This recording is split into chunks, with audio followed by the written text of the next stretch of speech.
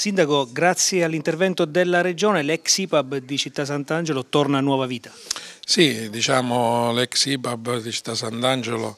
la casa di cura Sgaroni, perché così la casa di riposo Sgaroni, così la individuiamo meglio, torna ad avere la possibilità di un roseo futuro. Ma questo sì grazie alla Regione Abruzzo,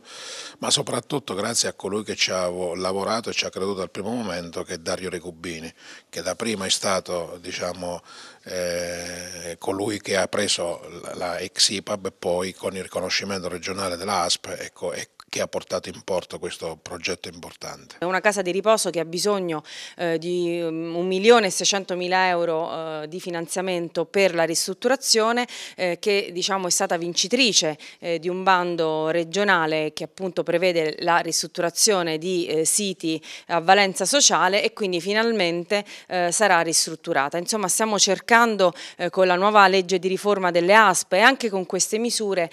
di dare alle ASP la gloria che forse prima avevano e che oggi purtroppo eh, con il tempo, con i pochi finanziamenti hanno un pochino perso la, la luce. Ricordo che a Città Sant'Angelo c'è un'altra struttura che è la Casa del Sole eh, che anche questa grazie a un finanziamento regionale eh, di 270 eh, mila euro ehm, è stata destinata a, eh, a, a,